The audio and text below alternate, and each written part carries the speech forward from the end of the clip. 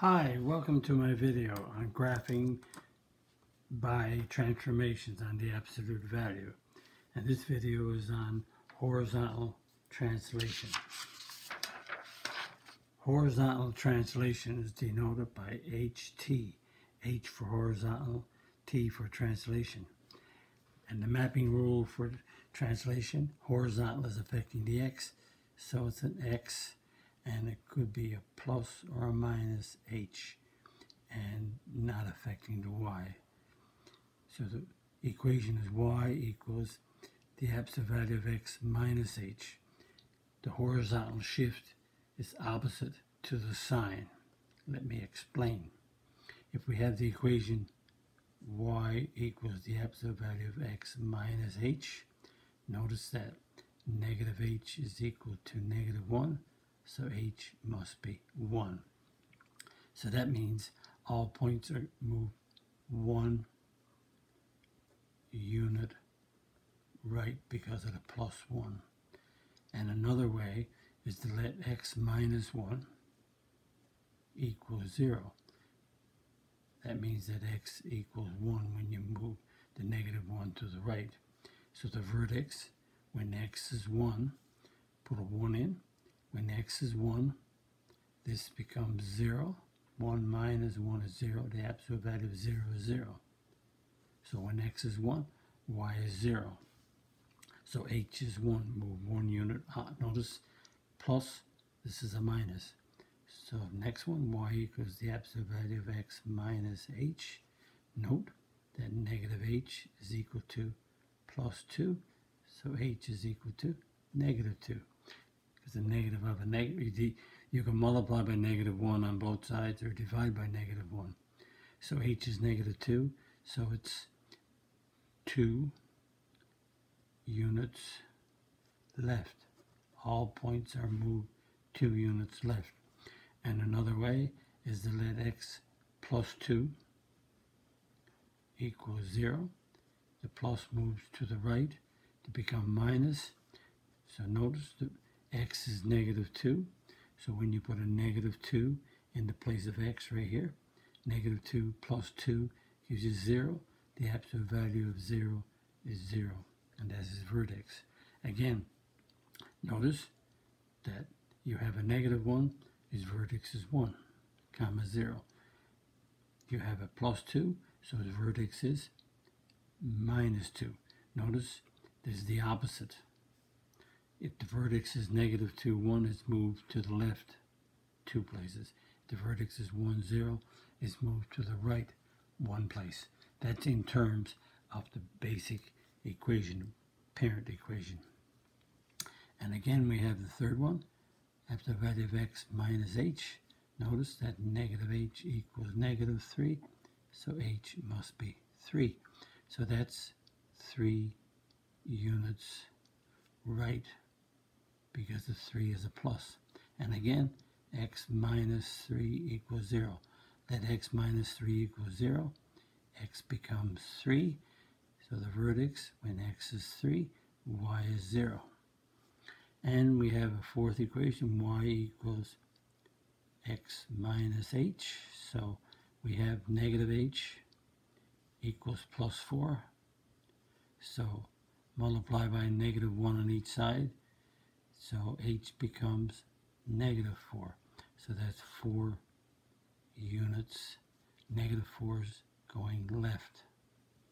And so we let x plus 4 underneath the root equals 0. x is equal to negative 4. So the vertex is when x is negative 4, y becomes 0. And again, notice plus 4 minus 4 for the vertex plus minus 3 plus 3 for the vertex. So again, the, the horizontal translation is the opposite. So it's minus, so it's 1 right. Plus 2, it's 2 left. Minus 3 is 3 right. It's the opposite. Plus 4, minus 4. 4 units left because it's in terms of the vertex. The x-coordinate of the vertex here is negative 4. The x-coordinate of vertex is plus 3. The x-coordinate of vertex is a minus 2. the x coordinate of vertex is a plus 1. Again, opposite. And we have the equation y equals the absolute value of x, which is the parent or basic equation. We got 2, 1, 0, negative 1, negative 2. That's a 2, 1 absolute value that we have practiced. We plot that. We got 2, 2. So 2, 2, 1, 1, 1, 1, 0, 0. Right there. x is negative 1, y is 1. x is negative 1, y is 1 x is negative 2, y is 2. And I'll draw this freehand without using a ruler. There it is. And so that's y equals the absolute value of x. Now, we will deal with the equation that I'm going to put here is y equals the absolute value of x plus 1. And notice this is a plus 1. So we have x and y. So if the mapping rule, that's a plus 1, this is affecting the x. So it's an opposite, remember. So it's an x minus 1 in the mapping rule. It's opposite. So let's check.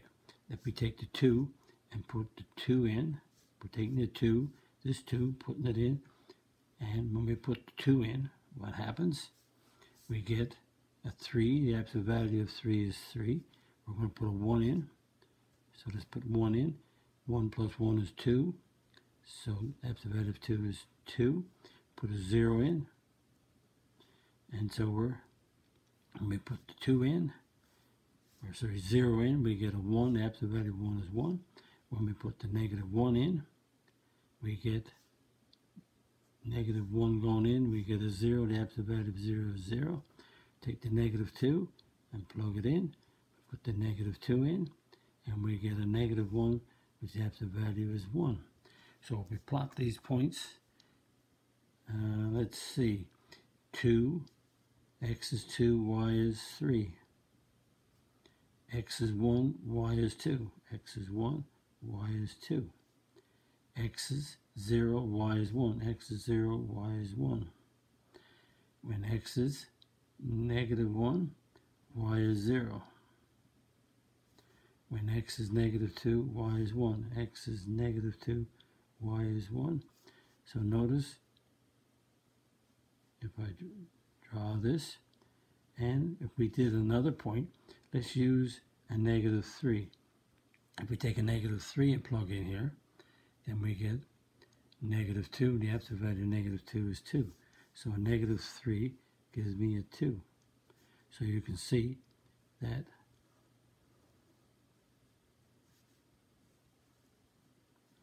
there it is. Notice the vertex was 0, 0. Now let me, the, the basic equation y equals absolute value of x. The vertex is 0, 0. The domain is always the same in the absolute value based on being a linear on the inside. And the range is y is greater than or equal to 0. So, based on the, let's use this for the this equation, we have now the vertex is x is negative 1 y is 0. Notice this is x plus 1. The opposite of the plus 1 is a minus 1. So that means that the h is negative 1 minus 1 in the mapping rule. So the mapping rule has the opposite to what's in the equation. And the domain is still the same. x belong the domain of an absolute value, if you have the inside to be linear, is always reals. But the range could change, but the range here is y is greater than or equal to 0 also. And again, being on the inside of the absolute value, then in the mapping rule is the opposite sign. So this is x plus 1, this is going to be x minus 1. So the mapping rule right here would be an x minus 4. The mapping rule here would have an x plus 3. The mapping rule right here would have an x minus 2. The mapping rule would have x plus 1, with the y staying as the y. So again, that's the horizontal translation. And if you like my video, click the like button, the subscribe button, the notification bell. Visit my math website, www.mathfullyexplained.com to find more information about me, my video, and the content of my YouTube channel called Math Fully Explained. Thank you for viewing my video. Bye-bye.